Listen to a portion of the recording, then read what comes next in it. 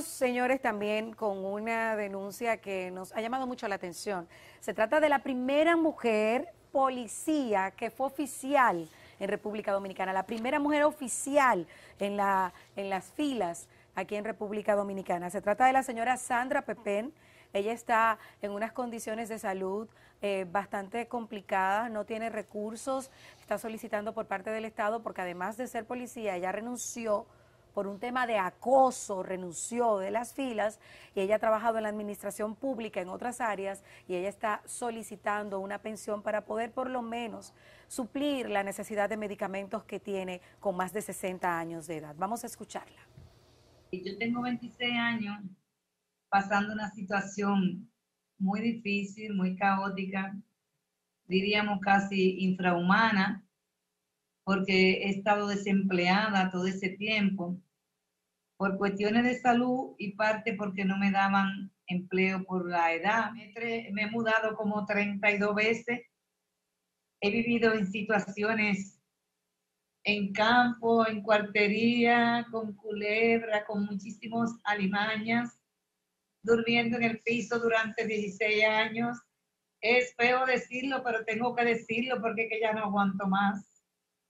Tengo muchas condiciones, tengo 24 situaciones de salud esa hija mía eh, tiene una lesión eh, que no se, ve, le ve ahora físicamente y le quedó una leve eh, situación en el área del aprendizaje. Tiene 36 años y se quedó en cuarto de primaria, todavía no sabe contar. En las escuelas públicas no me la querían anotar, porque ya era un adulto con los niños y que no aprendía, porque yo trabajé como cinco años en la policía, fui la fundadora del cuerpo femenino en el país, lo cual el país me mandó a representarlo en Chile, a la Escuela de Carabineros de Chile. Cuando vine formé los dos primeros grupos de la policía. Por eso apelo a su buen corazón al presidente que si me puede dar una casa donde sea, porque yo vivo donde sea. Yo vivo en Higüey, en la otra banda de Higüey, a siete kilómetros de Higüey, y que me dé una ayuda mensual donde yo pueda costear mis medicamentos y lo de mi hija y que pueda sustentarme como madre soltera. Bueno, él es, eh, me sorprende que ella ha sido la primera mujer policía y, no oficial. esté no, oficial y no tenga una pensión de la Policía Nacional. O sea, la policía tiene, tiene eh, planes de retiro. Bueno, lo que la policía dice que, que no eh, hago todos los 20 años, es lo que dice la policía. Pero señores, hablamos de una persona que pudiera ser un emblema dentro de la institución si fue la primera mujer oficial.